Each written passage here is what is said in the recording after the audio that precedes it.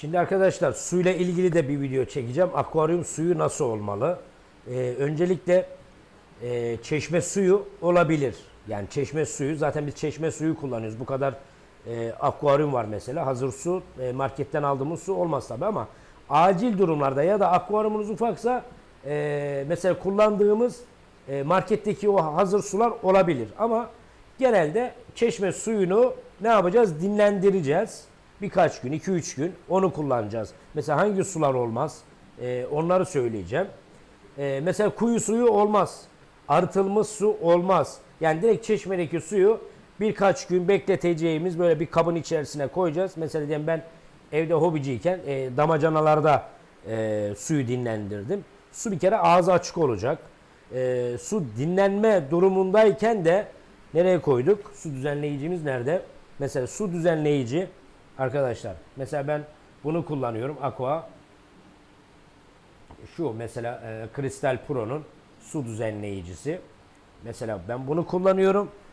Su dinlendiği zaman da bu su düzenleyici ilacı katarsanız daha güzel olur. Yani şu da gördüğünüz gibi arkadaşlar mesela akvaryum berraklığına bakın.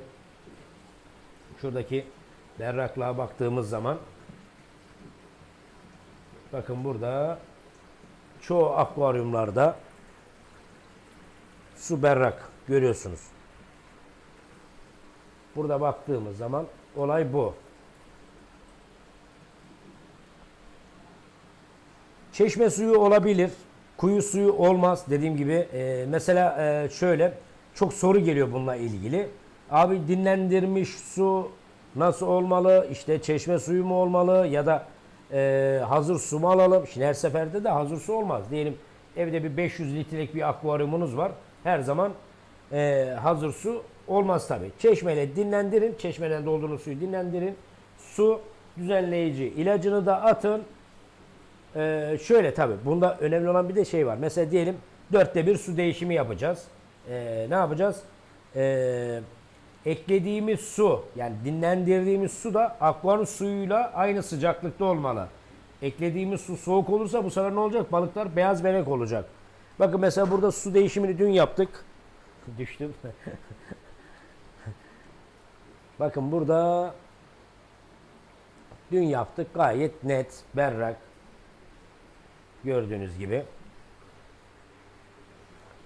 Şurada da mesela beta stantımızın e, akvaryumuna bakın mesela. Baktığımız zaman işte bu su düzenleyici de biz ne yapıyoruz? E, kendi depolarımız var. Su depolarımız var. E, depolara atıyoruz. Mesela diyelim e, ne yapıyoruz? Belli bir ölçüsü var. İşte e, 20 litre 15 damla diyoruz. Mesela kaç litrelikse ona göre hesaplıyorsunuz. Artık kapak ayarlama atarsınız. Yoksa damla ölçeriniz var o şekilde mi? Ya da gram olarak mı tartarsınız? O şekilde atarsınız. Biz mesela depolarımıza kullanıyoruz. Bakın burada baktığımız zaman bu su düzenleyiciyle beraber su daha berrak olmuş oluyor. Balıklar daha canlı olmuş oluyor. O yüzden çeşme suyu kullanabilirsiniz. Kuyu suyu olmaz. Arıtılmış su olmaz. Bilginiz olsun. Yani bazı böyle titiz arkadaşlar diyor ki ya suyu arıtalım daha güzel olsun. O şekil olmaz. Çeşme suyunu dinlendiriyorsunuz birkaç gün. En az şöyle 2-3 gün e, bir yerde dinlensin. Yalnız güneş görmesin arkadaşlar. Çünkü güneş gördüğü zaman su sararacak, yosunlanacak. Güneş görmeyen bir yerde e, dinlendirebilirsiniz. Ben mesela şöyle yapıyorum. Aynı ısıyı yakalaması için de ne yapıyordum? Mesela diyelim suya ekleyeceğiz ama damacana soğuk. Ben ne yapıyordum? Bir çaydanlıkla ısıtıyordum çok azıcık bir e, dinlenmiş suyu. Tekrar damacanaya katıyordum. Karıştırıyordum onu. Aynı e, su seviyesine getirip ısı seviyesini akvaryuma döküyordum. Bununla ilgili zaten evde e, hobiciyken e, yaptığım zaman o videoyu da paylaşmıştım. Bilginiz olsun. Yak, yakından da bir akvaryumları gezdireyim. Bakın her zaman bizim buradaki görüntü bu. Görüntü bu arkadaşlar. O yüzden çeşme suyu kullanabilirsiniz.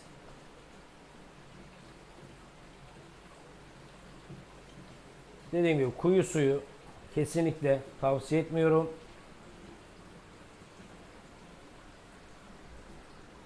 Bakın sampli pipolarımız da bu. Biliyorsunuz arkadaşlar devamlı bunlardan gönderiyoruz her yere. Tabi bazen stoklarımız bitiyor.